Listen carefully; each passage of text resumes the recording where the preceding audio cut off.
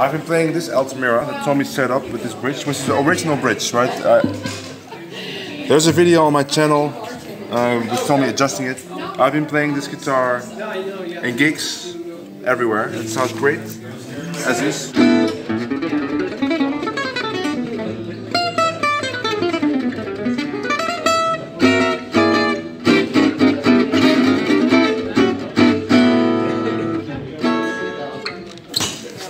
But Tommy is gonna put a custom bridge on it that he prepared himself. So you're gonna adjust the bridge that's on it now, or not adjust it, you're gonna put on a new bridge. So we're gonna yeah? put a new bridge that Yeah. matches the same profile, the same spacing, and we're gonna compare how it sounds if you would replace the bridge with a rosewood high quality bridge versus the stock ebony which has been shaved down. Which, And what's the, sh- the what's, what's the rosewood bridge? How does, what does it look like? so rosewood bridge looks like this.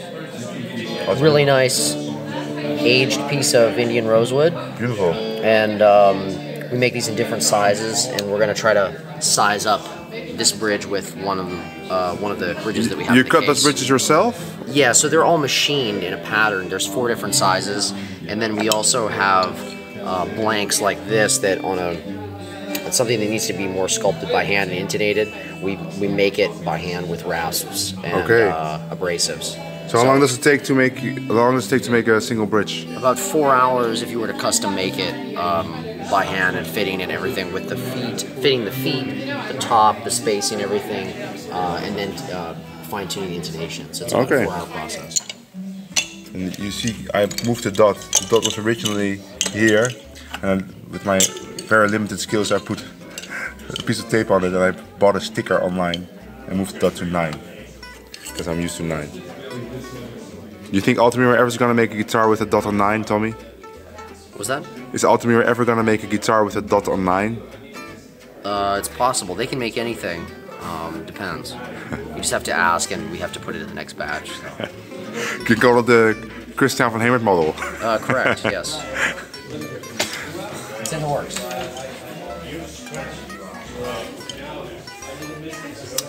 You're lining up the bridges. Yeah, I'm just trying to approximate the size of something that's going to be a good, good fit.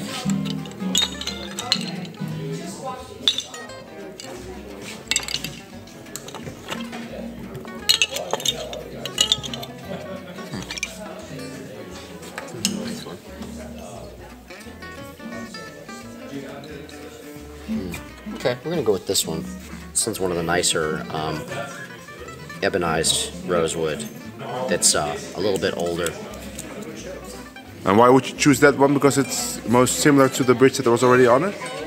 Not necessarily, just because I like I like the way the wood feels. Um, it's a harder piece of wood. Okay. Some of these other ones are different different origins of rosewood. Some of them are still got a lot of oil in it. Yeah. So sometimes I we, we sometimes will cook these to get the oil content out. Oh, okay. Um, some of you know all all rosewood stock is not created equal, so we try to Cook it. You mean like in water? Just you boil the water. You put the Microwave. Okay, microwave. microwave. How many guitars did you set up in the past uh, three days? I think eight. We did Eight. Eight, eight in eight in three days. Today, two. Just here on the on the on Yeah, your merch two- table. two- Yeah. well, over there and, and the hotel. This is like the this is the merch hall of uh, DjangoFest Northwest. It's a great festival on Whidbey Island near Seattle, and Tommy is here every year with a booth, setting up guitars, giving advice, setting up violins.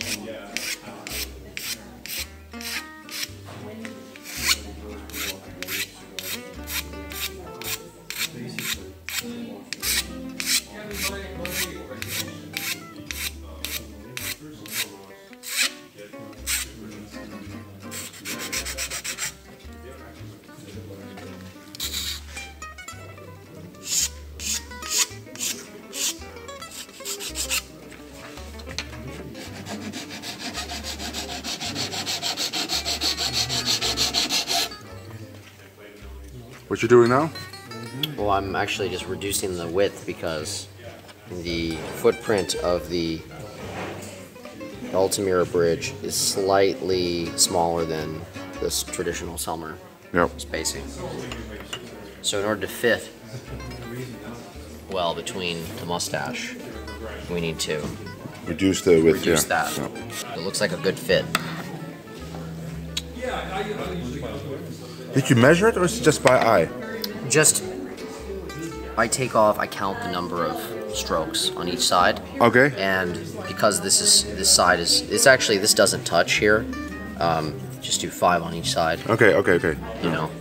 Um, usually there's a, I have a, a saw that does that or a little sander that I can very accurately mark and take off. I always catch you in situations where you have to improvise, but Yes, well, you know, it worked out though. And of course, you've done it a million times, so. yeah.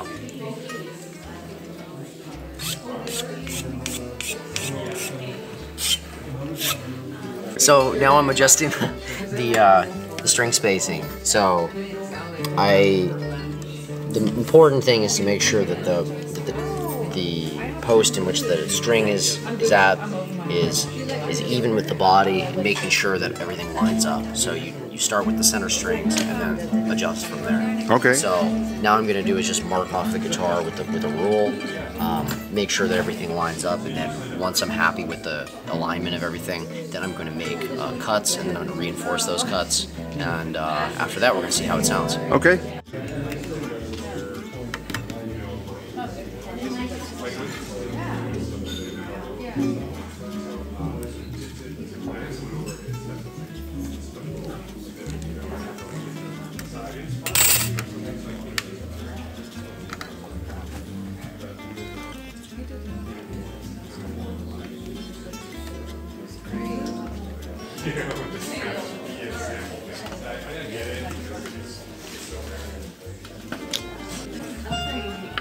Gonna make the slots for the strings? beginning slots from the very simple notches.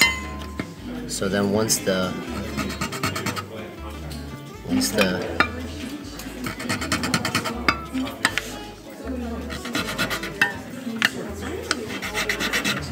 So now that the spacing's been decided, we're gonna take the bridge off. Okay. We're gonna reprofile and polish the bridge, and then we're gonna see how it sounds. How do you how are you gonna polish it with the the Some same leather, kind of? some leather and compound Okay. and some yeah. steel wool. Yeah.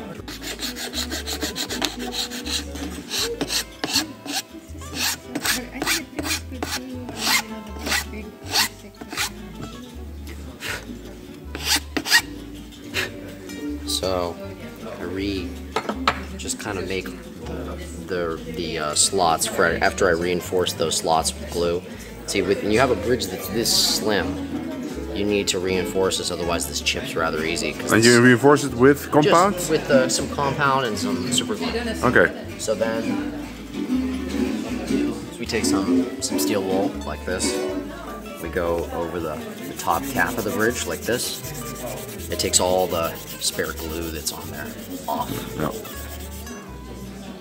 So as you can see now, it cleans it up. So you've got these pretty clean little tiny indents that are now reinforced. And then there's any sort of spare glue on the side there. We just take it off with uh, good steel wool. Yeah. So there's that.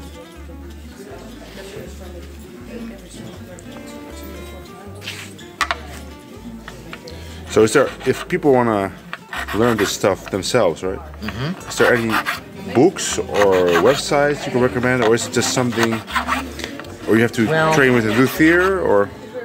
You know, there, there's there are some tutorials on. Uh, I think Michael Collins has a good book um, that talks about the making of the guitars. But as far as the setup um, and making choices for that, um, there's not really a lot of information as far as what to do for what, and that kind of comes with experience. Um, but I would encourage anybody who you know. But do you ever do you ever give courses in that?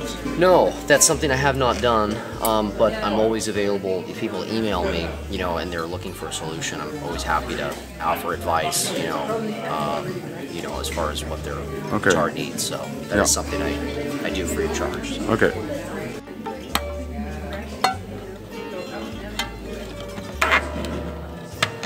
Okay, so now the bridge is on there. Spacing yeah. is even. Yep. Yeah. So this, as you can see, when you compare a bridge like this, you've got a lot, something a lot different going on. It's the original bridge, right? Yeah, this yeah. is original bridge, but it's been modified. So originally, I'll show you what they look like.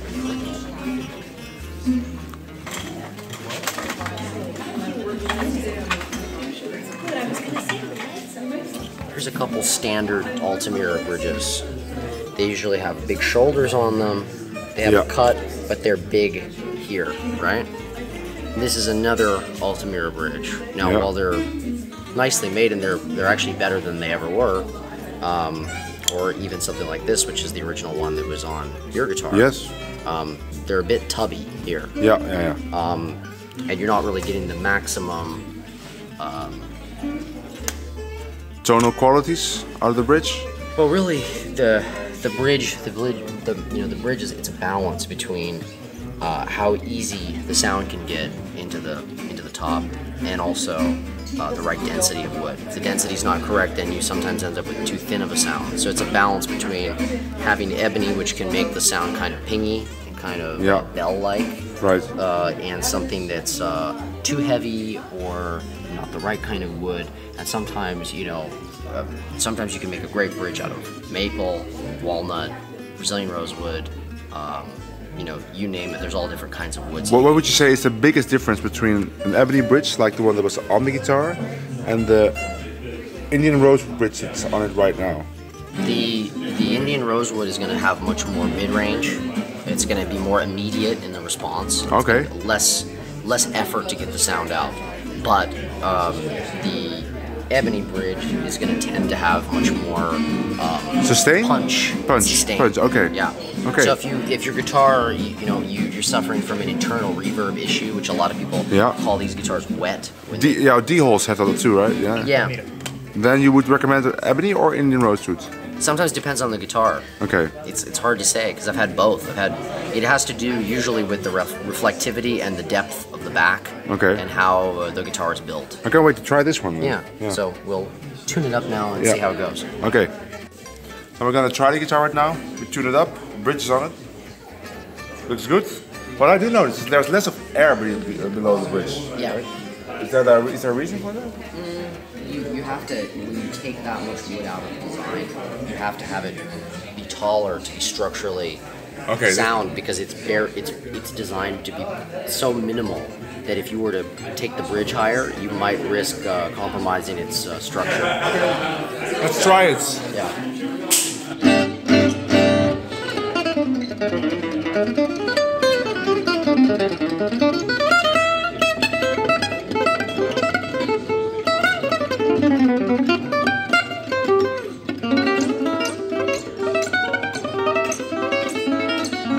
What I noticed immediately is that the sound is much warmer. It seems like there's more depth in the guitar. The funny thing, is it still sounds. I still recognize the guitar. It didn't Yeah. change the profile of the guitar. Mm-hmm. It just put some more, maybe overtones in the, in the, in the sound. But maybe less, little, a little less sustain, indeed. Yep. But but still, there is still sustain.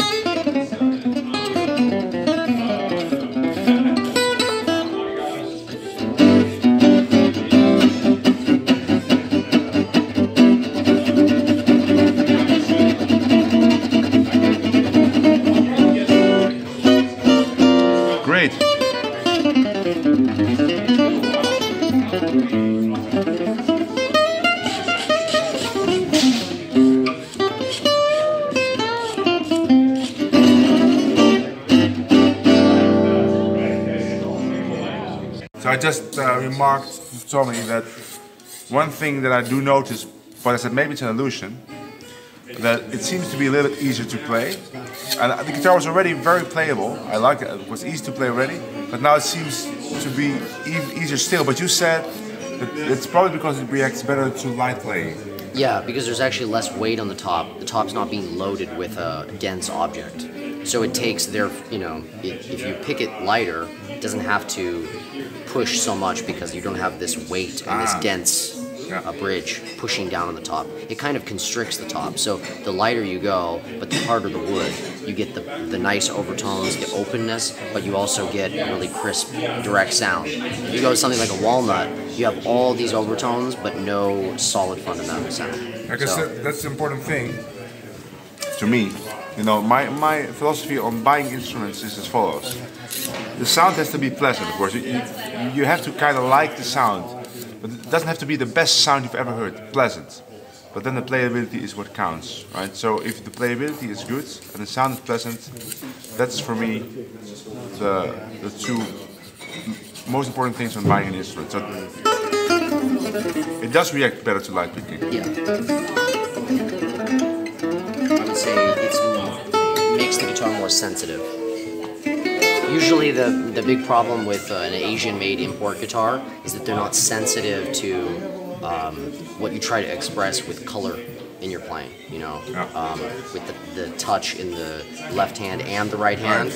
You know, uh, Mozes does a lot of nuancing with Yes. that, and that's the aspect of the playing that you know it's always sort of a mystery, you know.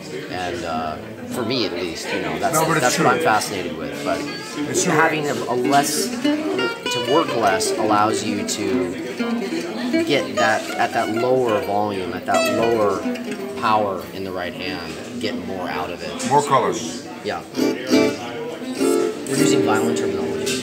Huh?